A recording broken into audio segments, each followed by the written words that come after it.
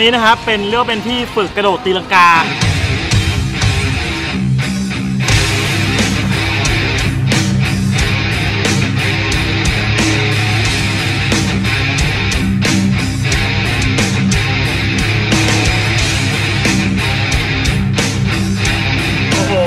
จากไปลองเล่นกันมา บอกเลยว่าไม่เคยมาที่นี่มาคุณหก่ยุอดนหอบก่อนไหมเฮ้ยเห็นมันเด้งๆอย่างเงี้ยแต่ผมว่ามันสนุกนะสนุกมากครับสำคัญกว่าความสนุกก็คือมันได้ออกกำลังกายด้วย จะบอกว่าพี่โค้ชเขาทำให้ดูแบบท่าหลากหลายมากตีลังกาเด้งขึ้นเด้งลงโอ้โหมันเท่นะ อยากให้มาลองกันดู ผม 116 กิโลเล่นได้ครับ เพราะที่นี่รองรับถึง 200 กิโลกรัมเพราะฉะนั้นมาเล่นได้เลยฮะเพราะเดี๋ยวเรามีกิจกรรมดีๆครับให้มาร่วมสนุกกันฮะเดี๋ยวค่อยเล่าแล้วกันเราไปโดดกันต่อดีกว่า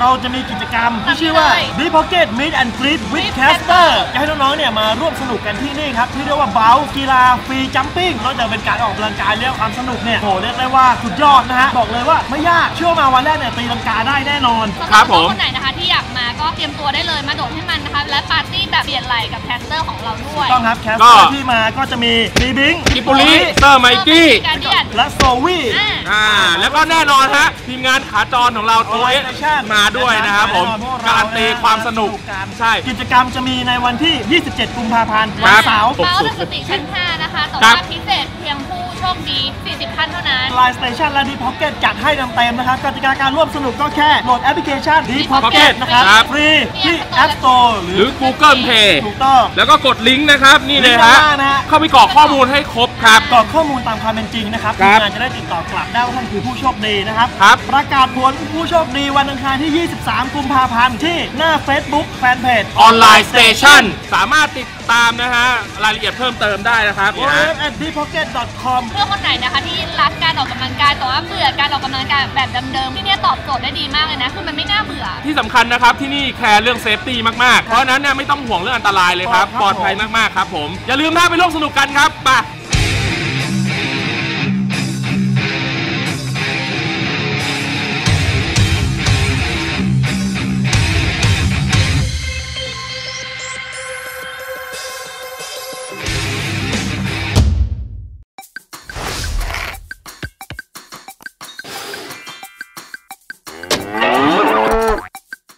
วัสดีครับ สวัสดีครั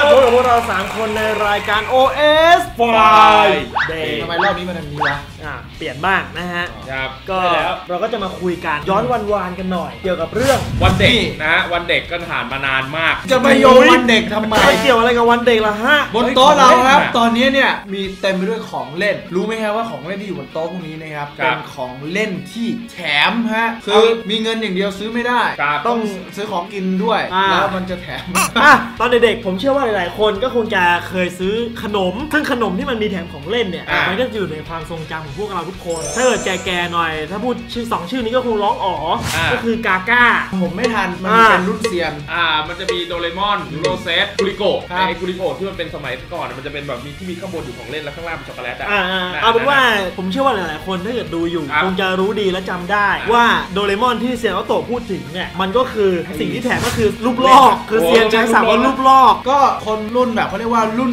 ลายครามอย่างเซียน ปกติวัยรุ่นอย่างผมเนี่ย สติกเกอร์ สติกเกอร์แย่เอาทุยถ้าแปลรุ่นเซียนเนี่ยครับก็จะใช้ชื่อว่ารูปลอกโอเคฮะเกลียดสำเนียงมึงมาก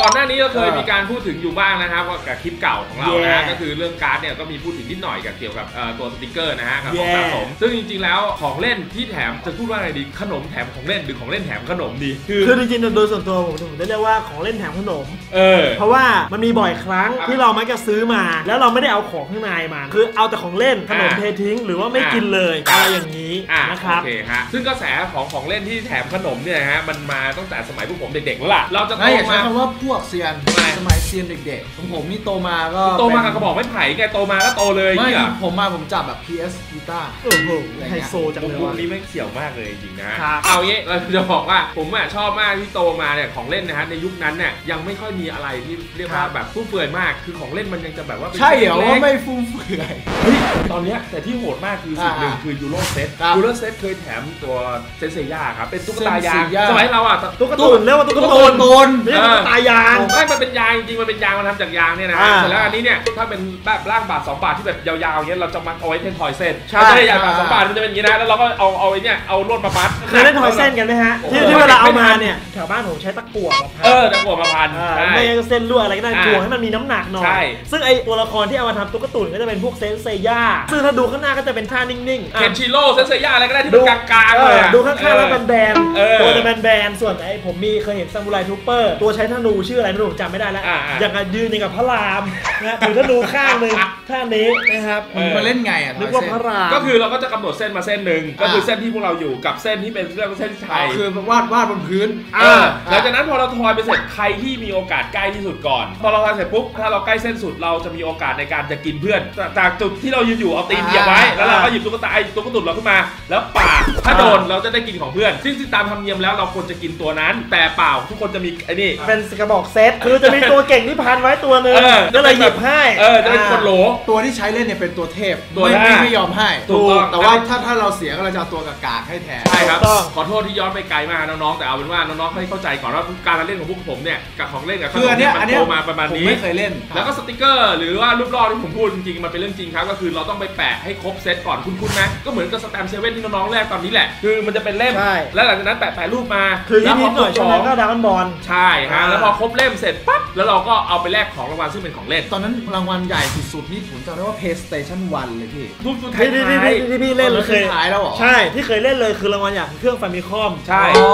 ครับ มีรถบังคับบ้างเครื่องฟามิคผอมมได้เล่มเดีบ้างยวผมก็ไอันนี้แล้วตะบะแตกแล้ว ทำไม ก็ไปแลกเลย ตอนนั้นผมได้ไปทำมากอตโง่ๆเครื่องหนึงอ๋อแต่เป็นโอเคทำมากอตที่แบบแม่งกากเก๊ปลอมเปลือกอ่ามมากอะ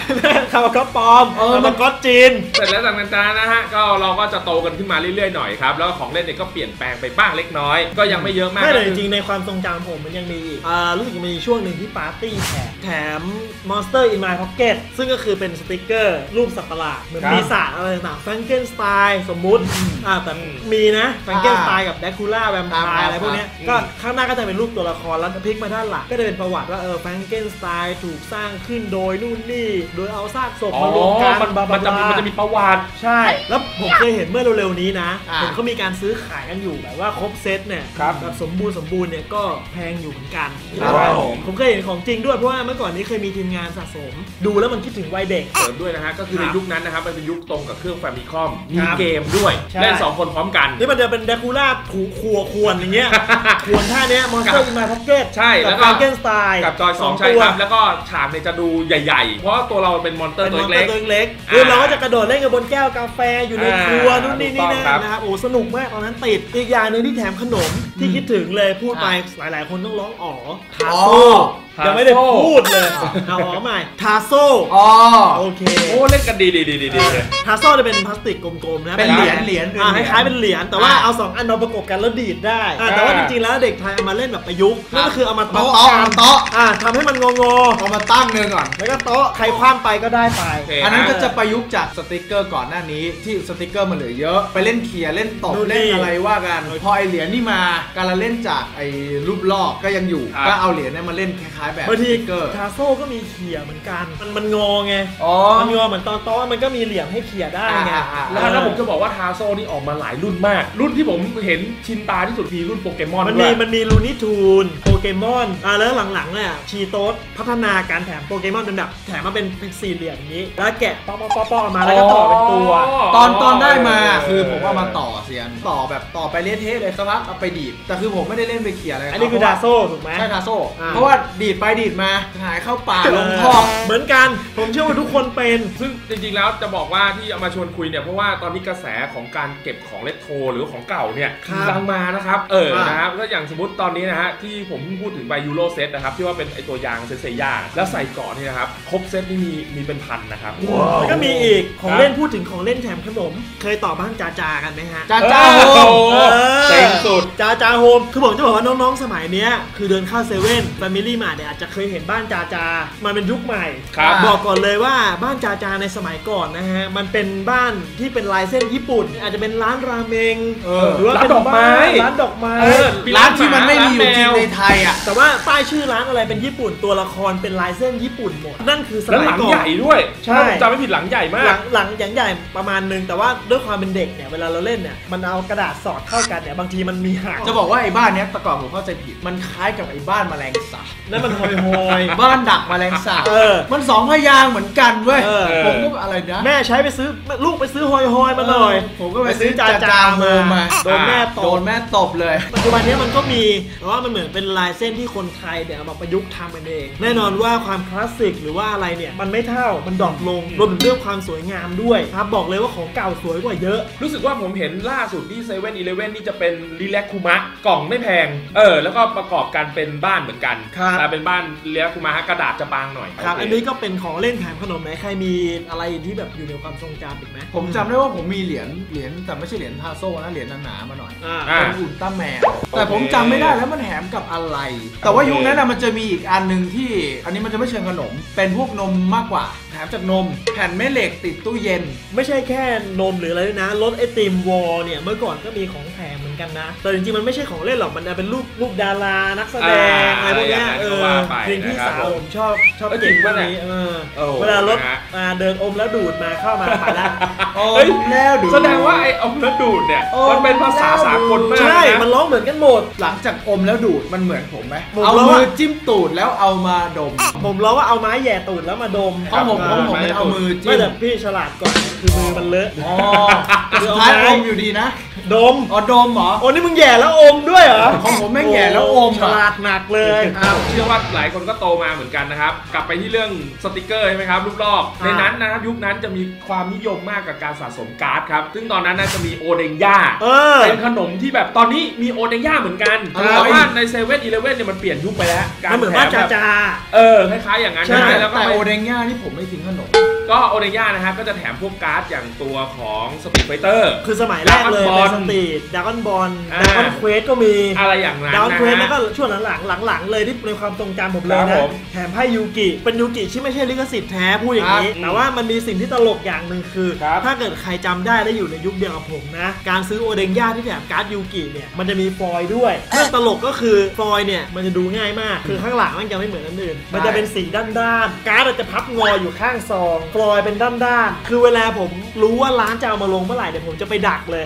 ไปซื้อฟอยล์มา ที่โรงเรียนตูไม่ค่อยเจอฟอยล์ก็เพราะเหตุผลนี้นี่เองเออนะผมผมจะชอบมากคือยุคของ Street Fighter ภาพมันจะเป็น SD น่ารักมากอืม อ่าแล้วก็มีฟงมีฟอยล์เหมือนกันอะไรอย่างเงี้ยใช่ฮะใช่เนี่ยฮะคือของสะสมในยุคขนมของพวกเรา คือยุคแรกเลยต้องบอกก่อนว่าสติกเกอร์เนี่ยนอกจากพวกผมจะเรียกว่ารูปลอกแล้วเนี่ย มันจะมีการเรียกฟอยล์ว่าสติกเกอร์เลเซอร์ เพราะมันเป็นแสงเหมือนเลเซอร์แวบๆอ่าแวบใช่ของวับแวบแวบอันนี้คือของแถมจากขนมๆเออ เมื่อกี้พูดถึงการ์ดยูกิพี่ มันมีแถมอีก รุ่นผมประถมครับแม่งมีเป็นยูกิแบบปกติเราเห็นเป็นเอ็กโซเดีย5ใบ อันนี้มันแบ่งประมาณว่าอาการ์ดใบหนึ่งอืมก็คือจิ๊กซอว์ชิ้นหนึ่ง สามหัว คือเอามาต่อกันอ่ามันต้องใช้9ใบเว้ย เอามาต่อ อย่างนั้นไม่พอ มัน edit พลังข้างล่างด้วย จาก 4,500 มันเป็นอนันต์อนันต์คูณอนันต์ infinityเออไม่หมดไม่หมดยังจะคูณกันได้อีก มีไอ้การ์ดกากากๆบางใบ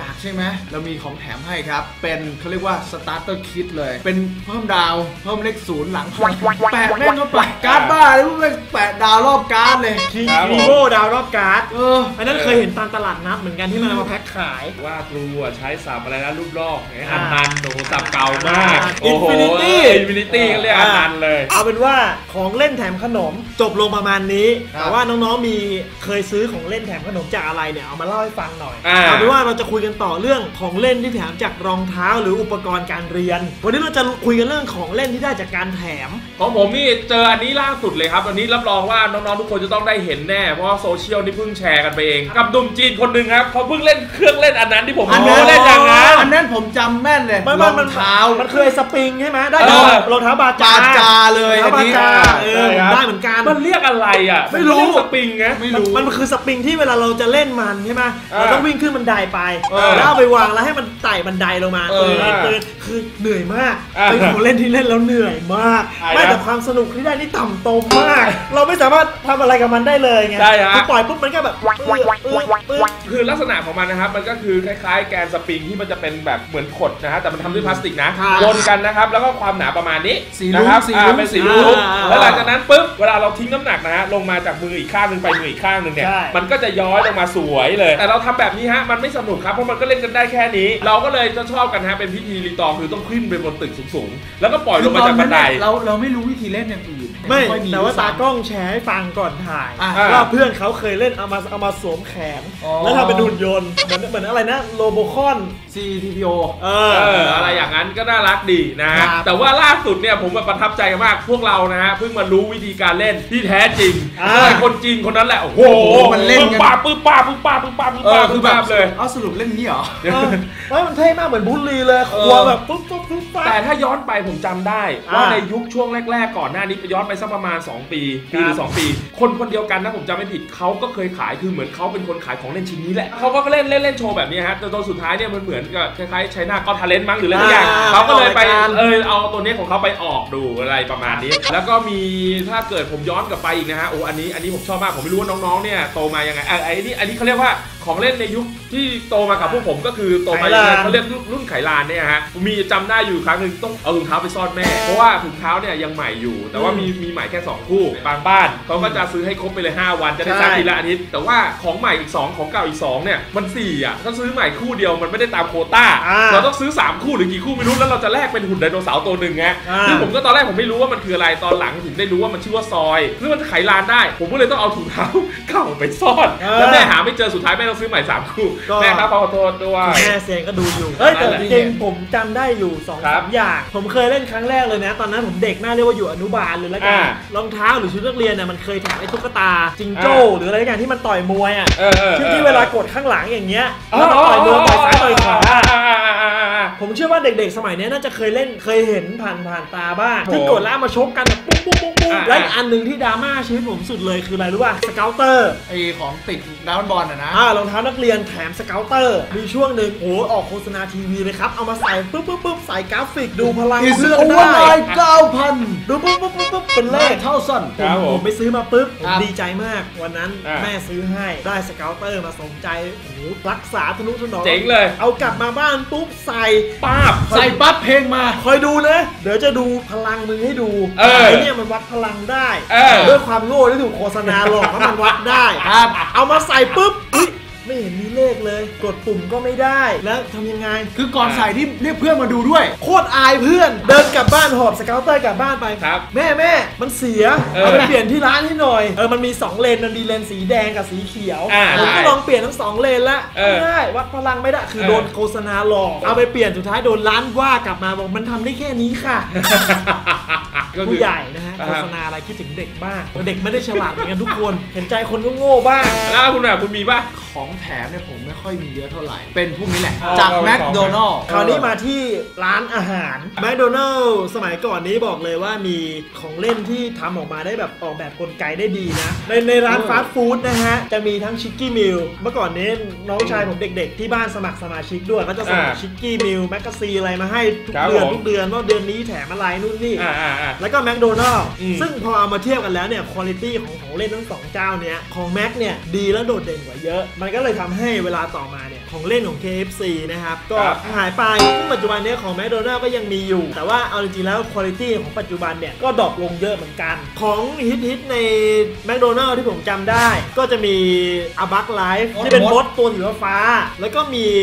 ทาร์ซานที่เป็นการ์ตูนของดิสนีย์ครับผมอ่าเวอร์ชันนั้นเลย แล้วก็มีอีกอันหนึ่งเป็นสนูปปี้อันนี้ผมเก็บที่ใส่ชุดหลายๆหลายแทบจะนานาชาติกูเรียกได้ว่าเต็มตู้มีเกือบทุกชาติคือตอนเนี้ยไปดูตลาดนั้นมือสองอะร้านของเล่นมือสองบางร้านก็ยังมีขายอยู่ จะเป็นสนุปปี้ตัวประมาณเนี้ยฮะ อ่าแล้วก็ใส่หมวกใส่ชุดประจำชาติของไทยก็มีใส่ใส่อ่างอบชาวนาเลยใช่ฮะ เออ ชุดราชประแตนมั้งถ้าผมเอจำอไม่ผิด ส่วนของผมฮะ ถ้าพูดถึง KFC ผมเลยจำชุดเด็ดเขาได้ ซึ่งผมมีเก็บอยู่ ก็ยังเก็บสะสมไว้อยู่นะครับ ก็คือบ้าน KFC มันไม่ใช่เป็นบ้านครับ มันเป็นเหมือนโรงงาน KFC คือมันจะเป็นกระดาษแผ่นเบลเลอร์เลย เป็นสมุดสมุด อืมแต่พอกางออกมาแล้วเป็นจะเป็นโรงห้องงานเอาแล้วเป็นตัวตุ๊กตุนของคุณลุงอะวางตามตำแหน่งผู้ต่างว่าๆว่าเซนเดอร์เออผู้ว่าเซนเดอร์อะวางตามตำแหน่งต่างๆ แล้วบอกว่าขั้นตอนการทำไก่ KFC เป็นประมาณไหนยังไงสรุปสูตรไก่ KFC นี่บอกกันตั้งแต่ตอน ว้ายไม่เขาก็บอกแค่คือเขาเล่าแบบขำๆเป็นประวัติเออออะไรอย่างเงี้ยนิดๆหน่อยๆจริอันงๆนั้นน่ะผมชอบบ้านนั้นมาก จริงๆ ผมเคยอ่านนะ พูดถึงสูตรไก่ KFC อ่า อย่างที่บอกฮะว่าที่บ้านสมัครสมาชิกไว้แล้วเขาจะส่ง magazine มาให้ เหมือนเขาบอกว่าสูตรในการทำไก่ KFC เนี่ยรู้สึกจะต้องเช่า safe ธนาคารนะ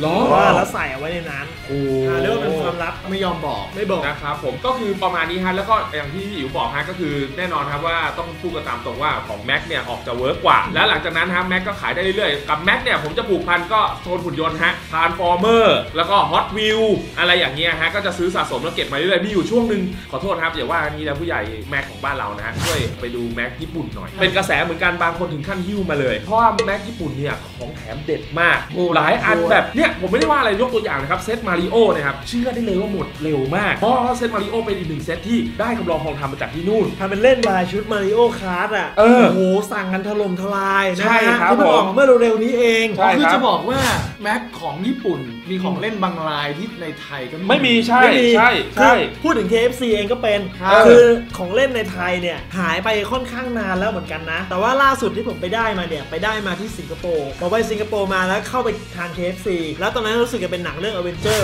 เข้าฉายอยู่ผมครัก็บเลยได้ a v e n g e r ของทอมาตัวหนึ่งก็เหมือนกดเอาไว้แล้วมันจะมาโบกค้อนอย่างเงี้ยครับนั่นน่ะเป็นของเล่น KFC ชิ้นสุดท้ายที่ผมได้มา โอเคแต่ว่าพอพูดถึง 2 แบรนด์นี้อย่าง McDonald's และ KFC แล้วเนี่ย7 e เ e ่ e อก็มีเหมือนกัน ถ้ายุคนั้นถ้าย้อนไปเนี่ยผมจะจำในรูปลักษณ์ของเดียวกับที่ตอนเนี้ยน้องๆ ที่ที่เห็นพวกผมชอบซื้อกันที่แบบว่าเราเวลาเราไปดูหนังนะครับครับไอ้พวกหัวข้างบนน่ะสเลอร์บี้พวกอะไรเขาเขาเรีเรียยกกว่าว่านะท็อปอัพเออท็อปอัพอะแต่อ่า ก่อนน่ะมีเยอะมากนะมดเอ็กก็มีตัวละครการ์ตูนจะเต็มเลย ของเซเว่นเองก็จะมีหลายอย่างด้วยกันฮะ ถามถามเด็กเซเว่นก่อนเอ้ยเด็กเซเว่นเมื่อกี้คุยว่าอะไรนะเออล็อกแมนแปดใช่เออเข็มกัดล็อกแมนโอ้โหอันนี้ผมได้มาเหมือนกันโอ้โหโชคดีมาก แล้วก็ไม่รู้ทำไมหายเหมือนกันพักหลังก็เริ่มไม่ค่อยมีไปกับน้ำท่วมป่ะเอ้ยบ้าไม่ใช่ไม่ใช่หมายถึงว่ามันมันเริ่มหายหายไปครับ ก่อนหน้านี้ถ้าย้อนไปหน่อยเดียวจะมีให้แลก point ก็คือเอาสแตมป์ครับหรืออะไรสักอย่างเนี่ยไปแลก point มาเป็นจะเป็นเหมือนตัวต่อเลโก้เป็นรถอืมแล้วก็แปะป้ายโลโก้ของตัว7 e เ e ่ e อเหมือนกันโอ้แต่กันดั้มเซเว่นก็มีนะกันดั้มเซเว่นเนี่ยนะมันเป็น exclusive ไงเออกับ7 Eleven อะซีรีส์โอเซเว่นคแต่ตอนผมไปญี่ปุ่นน่ะผมหาไม่เจอพอมาถึงเซเว่นอีเลเว่นแล้วเนี่ยอยากจะเติมอีกนิดนึง สิ่งหนึ่งที่ผมชอบมากตอนไปญี่ปุ่นก็คืองานจับฉลากคือมันจะเป็นคูปองเลย คุณสามารถเดินไปซื้อได้เลยราคาประมาณพันเยนมั้งถ้าจำไม่ผิดเยนก็ประมาณ 300 บาทไทยครับเดินไปก็จะหยิบของมาอันหนึ่งซึ่งของเนี่ยมันก็เหมือนคุณจับฉลากแหละมันก็จะมี A B C D E F G H I J ตัวอักษรต่ำลงมาเท่าไหร่เนี่ยของก็จะเริ่มห่วยลงคืออย่างที่ห่วยสุดเลยก็คือโปสเตอร์เออหรือผ้าเช็ดหน้าอะไรสักอย่างอ่าเวลาผมจับเนี่ยผมชอบได้รางวัลกลางๆมาอ่าก็เป็นฟิกเกอร์ SD อ่านู่นนี่ครับผมนี่นั่นแต่ว่างานที่ทำออกมาเนี่ย บอกได้เลยว่าโคตรคุ้มค่า จ่าย 300 บาทแล้วได้ฟิกเกอร์ราคาเท่านี้ครับก็อยากจะฝากผู้ใหญ่เผื่อจะเล็งเห็นในทางจุดนี้ว่าของเล่นมันมี potential ก็อยากจะให้เอาเข้ามาเอามาลองตลาดดูหน่อยผมว่าด้วยคุณภาพกับราคาแล้วเนี่ยผมว่ามันค่อนข้างจะสมเหตุสมผล คนเราเนี่ยผมเชื่อว่าเรื่องการวัดดวงเนี่ยชอบมาอยู่แล้วล่ะแต่จริงๆเนี่ยงานจับฉลากเนี่ยเคยเห็นในไทยเหมือนกันแต่ว่าไปเห็นตามบูธที่คนอื่นเอาเข้ามาเออมันไม่ได้อยู่ในร้านสะดวกซื้อที่เราจะเข้าไปซื้อสาขาไหนก็ได้ไงแล้วก็อีกนิดนึงนะฮะมันจะมีร้านสะดวกซื้อเนี่ยฮะร้านหนึ่งก็คืออย่างบ้านเราก็จะเจอบ้าง แต่น้อยสาขานะคือ Lawson นะครับ Lawson ที่ญี่ปุ่นนะฮะโอ้โหผมจำได้ว่าไปมาครั้งล่าสุดเนี่ยเป็นเกี่ยวกับ Dragon Quest อืมโอ้โหเวลาเราเข้าไปที่ร้าน หรือว่าเราเดินออกมาจากร้านอะเสียงนะครับมันจะเป็นเสียงเหมือนเราเข้าไปใน dungeon แล้วออกมาเอออะไรประมาณเนี้ยแล้วก็ผมเพิ่งรู้ว่าเขาจับแคมเปญกับตัวเกมของ 3DS แล้วก็คือไปเล่นกันที่จุด hotspot นั้นเพื่อจะไปตามล่าหาอาวุธโปเกมอนก็มีแคมเปญประมาณอะไรอย่างนั้นคือปกติเนี่ยเราเข้า dungeon ครับเราจะได้ไอเทมออกมาอ่าได้เงินได้ทองออกมาพอไปเข้าที่นี่ปั๊บออกมาทีโอ้โหหมดตูดแล้วของเล่นเต็มเลยเออผมมองว่าสิ่งเหล่านี้เนี่ยมันเป็นสิ่งที่เรียกว่าเติมเต็มชีวิตอ่าเวลาเราโตขึ้นมาครับผมเชื่อว่าเราต้องผ่านวัยเด็กกันมาทุกคน เสร็จแล้วอันนี้ถามว่าแล้วถ้าเกิดน้องๆ อยากที่จะเริ่มเก็บอยากจะสะสมบ้างแล้วโอ้ตอนนี้หาได้เลยครับโอ้โหตามตลาดนะตลาดรถไฟก็ได้ตรงนี้ก็มี แล้วเวลาจะเก็บนะบางครั้งครับของเล่นบางอย่างหากล่องให้เขาใส่เนี่ยนี่เรามีตัวอย่างให้ดูไอ้กล่องพวกนี้เดี๋ยวนี้ก็หาซื้อไม่ยากครับไดโซมีแต่ราคาจะไม่ใช่ 60 บาทเนาะอันนี้เป็นจะร้อยยี่สิบเพราะมันเป็นไซส์เล็กใหญ่หน่อยจริงๆ การเก็บของของเล่นที่ดีนะฮะควรจะครับหาตู้โชว์กรอบแบบนี้ใส่ จริงๆ จะเอาวางไว้ มันก็ไม่เป็นไรหรอกแต่ว่าบางทีสงสารเพราะว่ามันตากฝุ่นจากของเล่นที่เคยสวยงามพอวันหนึ่งพอมันโดนฝุ่นเข้าคุณก็จะเห็นว่ามันไม่สวยแล้วอ่าวันนี้คุณจะทำไงกับมันล่ะแล้วกลายเป็นขยะหรือเปล่า ลองใส่ใจนิดนึงไหนๆนึกถึงวันแรกที่เราซื้อมันมา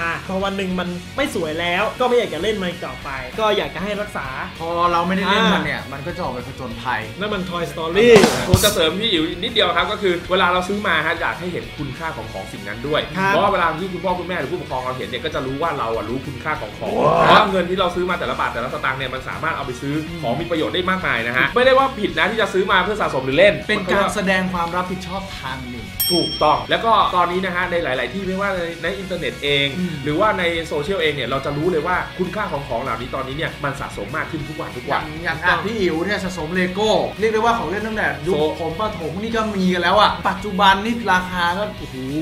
เด็กไม่มีปัญญาพูดตรง ใน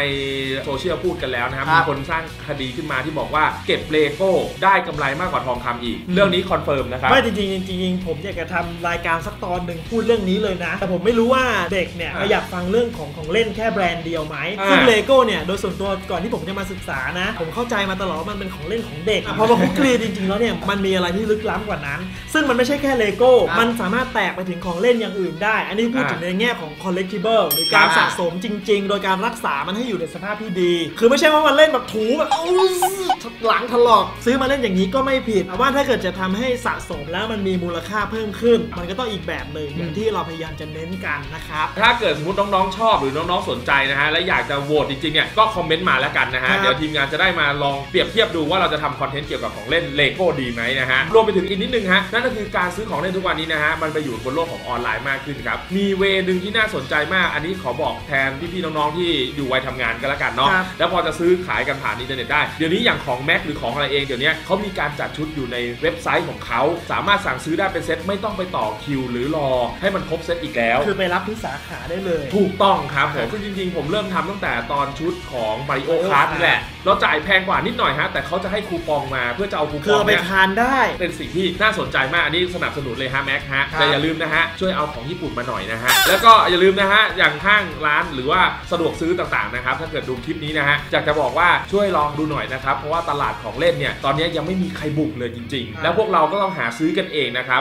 อันนี้ที่เอามาแชร์กันให้มันรู้กันเนี่ยก็เพื่อที่จะเปิดโอกาสให้กับคนที่อยากสะสมบ้างนะครัถูกต้องผมซึ่งตลาด ตรงนี้ยังมีอยู่นะครับ ยังมีโอกาสที่สามารถเก็บได้ แล้วก็เมื่อกี้พี่อิ๋วพูดถึงเรื่องของเลโก้ ถ้าน้องๆอยากสนใจเนี่ยผมจะให้พี่อิ๋ววิเคราะห์เรื่องของมูลค่านะครับแล้วเราก็จะแจกเลโก้ของพี่อิ๋วว้าใช่เลยครับเรื่องการสามชุดเลยนะครับผมเราจะแจกให้ตัวเลยใจเย็นๆคือมันไม่ใช่แค่เลโก้อย่างเดียวผมอาจจะตั้งเลโก้เป็นแกนเออแล้วผมจะพูดถึงวิเคราะห์เรื่องการสะสมของเล่นลายอื่นด้วย ไม่ต้องห่วงครับเพราะเรื่องรายอื่นเนี่ยผมเก็บมาครบหมดแล้วนะฮะถูผกมต้องจะชวนทุกคนคุยได้ครับแต่ตอนนี้นะฮะกระแสหนึ่งที่ผมอยากจะเตือนทุกคนหน่อยนะฮะนั่นก็คือกระแสของของมือสองญี่ปุ่น ขอให้ทุกคนดูให้ดีนะครับเพราะว่าของที่มาจากญี่ปุ่นเนี่ยถึงแม้ว่าจะแบบว่าดูสภาพดูดีแล้วทุกอย่างโอเคแล้วเนี่ยแต่มูลค่าของเขาเนี่ยฮะมันต้องวัดด้วยหลายอย่างครับไม่ว่าจะเป็นทั้งสภาพ ไม่ว่าจะเป็นทั้งความนิยม บางทีนะฮะเราจะไปเจอที่แบบว่าเขาเอามาโละขายกันแบบเป็นกระบุงเป็นกิโลเป็นอะไรเงี้ยอ่าครับช่วยดูให้ดีๆหน่อยแล้วก็คุณพ่อคุณแม่ด้วยนะครับของพวกนี้สกปรกมาก ถ้าได้มายังไงช่วยล้างทำความสะอาดนิดหนึงเอาเป็นว่าคลิปนี้เนี่ยมาเพื่อสำหรับคนชอบสะสมของเล่นเลยถูกต้องของแถมเนี่ยเอามาให้หมดเลยเออเรามาลำลึกวัยเยาว์ให้มันคิดถึงคิดถึงไปด้วยกันครัก็บถ้าเกิดมีอะไร ตอนเด็กๆที่ได้แถมมาแล้วชอบมันเหลือเกินนะฮะเล่าให้เราฟังหน่อยนะจริงๆผมจะบอกว่าพวกเราเนี่ยอ่านกันตลอด ไม่ว่าจะชมจะด่าอะไรก็อ่านหน้าชากันไปนะบางทีนะฮะ ถ้าคนตอบแล้วไม่มีทับครับตามด้วยชื่อคนนั่นคือ เราเรียกกันว่าพี่ตะกล้องครับหรือไอ้ห้อย คือคนนั้นครับ ถ้าเป็นสแลดแล้วตามด้วยชื่อ แต่ผมเนี่ยถ้าไปตามตอบผมจะสแลดแล้วตามด้วยชื่อผมเพราะฉะนั้นพวกเราอ่านอยู่ครับถ้ายังไงลองช่วยไปคอมเมนต์กันด้วยละกันแล้วก็อย่าลืมนะฝากสดด้วยรายการสดตอนนี้กำลังบูมมาก วันจันทร์นะวันจัฮะนทร์หนึ่งแจกทุ่มตรง แจกของกันเป็นว่าเล่นรวยเหลือเกิน รายการนั้นว่าอะไรรวยเหลือเกิน โอเอสไฟเดย์ไม่แจก แจกวันจันทร์ถามมาสิชอบจะตอบให้หนึ่งทุ่มตรงครับโอทุกเค วันจันทร์เจอกันวันจันทร์ครับผมสดสดเอ้เลยโก้แน่นอนครับเอามาแจกๆเดี๋ยวเดี๋ยวโอเคแค่นี้ครับพวกเราลาแล้วครับ สวัสดีครับปิดรายการเลยแจกเลโก้ปิดเลยเออแจกไปเลยนะฮะสามสามเซตจากครับไม่พี่คุยอิ๋แล้วนะฮะ